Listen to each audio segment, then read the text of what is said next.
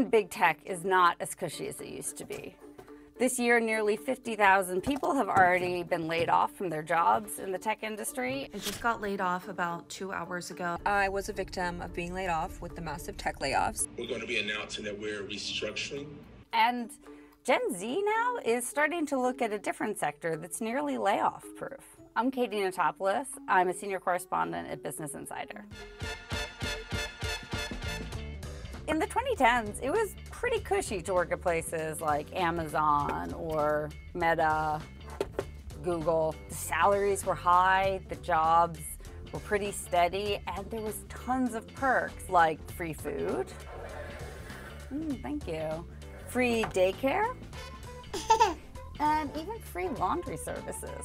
Oh, thank you. And these tech companies had money to burn. They were funding these moonshot projects, things like a wind turbine kite, um, a self-driving car, robotic uh, cell service tower on a balloon.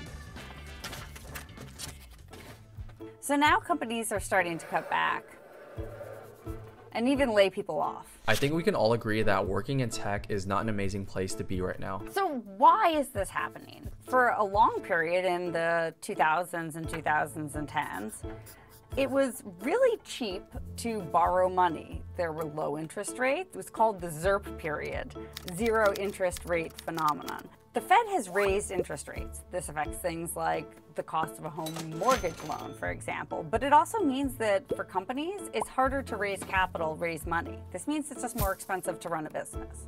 During COVID, a lot of these companies grew a lot and they hired a lot. And there was over hiring during this period. And now they're sort of adjusting and cutting back. And the last reason is AI. And a lot of these companies, they're not replacing workers directly with jobs that are run by a robot or AI.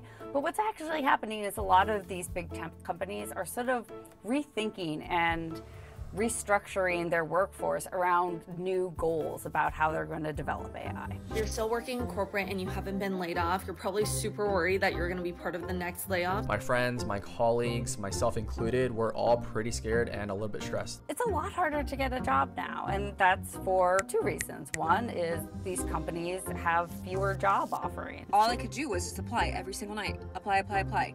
The amount of rejections or no callbacks or anything I received is insane. The other is that there's a lot more applicants than there used to be. And that's because these jobs were so desirable for so long that a lot of people decided to major in computer science. There's more people looking for jobs than companies hiring. There's been twice as many computer science graduates as there were a decade ago.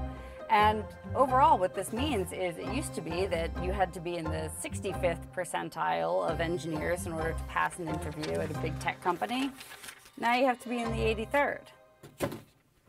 So what does this mean for Gen Z? Well, there's a new kind of job that's starting to become very desirable for them, and that is government jobs. Here's how to get into tech in 2024 in a tech sector that does not have mass layoffs. Gen Z is diversifying where they're looking for jobs, and that's partly because compared to two years ago, it is a lot harder to find a job. The number of job openings has gone way down since 2022. Although the big tech jobs and private sector work often will have much higher salaries than the public sector, there are a lot of upsides to working for the government in a federal job things like student loan relief. A lot of public service jobs or public sector jobs will erase your student debt after a certain amount of time. Another is job security. People think that I'm exaggerating when I say that it's almost impossible to get fired by the federal government. People are much, much more likely to lose their jobs through a layoff in the private sector, about three times more likely than the public sector health insurance. I work in the public sector and I really love it because one, I always wanted to be a government employee. Two, I have great health insurance. My deductible is $350. I have a pension, so I don't have to worry about the market. Early retirement. A lot of these jobs, you can retire at actually 65 or even sooner. These things really matter to Gen Z. And of course, money is important. Money is important to everybody. But Gen Z is rating job security as the number one thing they care about when looking for a job. Now, I do admit, working in the public sector, you don't make a lot of money, and it could be based on where you live, but also what you do.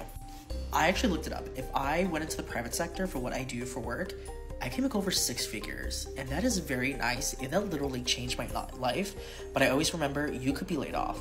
Joe, you're late. What are you gonna do? Fire me? All right, Joe. I'm not gonna ask you again. Get off your phone. What are you gonna do? Fire me?